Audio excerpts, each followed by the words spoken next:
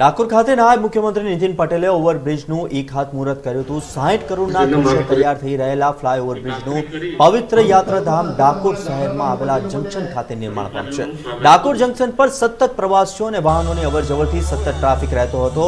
Flyover બનાવને કારણે ડાકોર આવતા ભાવિક ભક્તોને ટ્રાફિક જામમાંથી છુટકારો મળશે.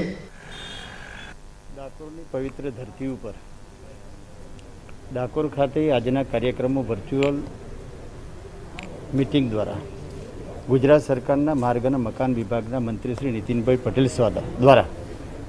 ખાસ કરીને ગુજરાત સરકારે ડાકોરના ફ્લાયઓવરના આજે ભૂમિપૂજનનો કાર્યક્રમ થઈ રહ્યો છે ત્યારે એવા પ્રસંગમાં ત્રણે ત્રણ સાંસદોની ઉપસ્થિતિ અને માનનીય ધારાસભ્યની ઉપસ્થિતિમાં અને સમગ્ર વહીવટી તંત્ર દ્વારા આજે જે ફ્લાયઓવરનું ઉદ્ઘાટન થઈ રહ્યું છે એવા પ્રસંગે સૌએ આશીર્વાદ આપ્યા છે.